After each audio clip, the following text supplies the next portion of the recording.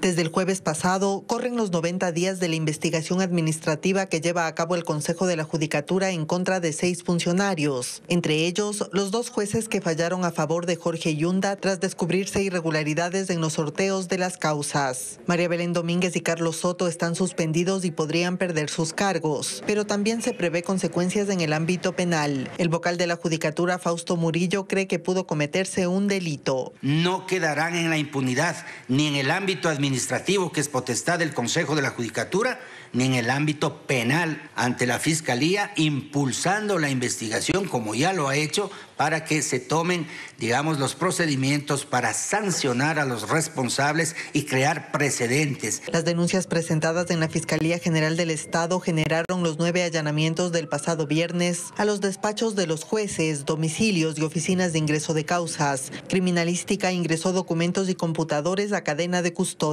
Sin embargo, la información sigue bajo análisis y la Fiscalía aún no ha abierto una investigación previa sobre el caso. La Asociación de Jueces del Ecuador se pronunció a través de un comunicado. Asegura que la entidad no se opone a la correcta aplicación del ámbito disciplinario y exige el esclarecimiento de todo presunto acto de corrupción, pero que dejar a un juzgador sin actividad laboral y más aún sin remuneración cuando no es el encargado del sorteo de causas y tampoco el responsable del buen funcionamiento del sistema SADGE afecta a otros derechos colaterales suyos y de su familia. Las investigaciones se deben a que la acción de protección presentada por Jorge Yunda ingresó como causa de violencia contra la mujer y las medidas cautelares como cobro de honorario de abogado, reduciendo al mínimo el número de jueces sorteados y en uno de los casos incluso se presume que se designó de forma directa.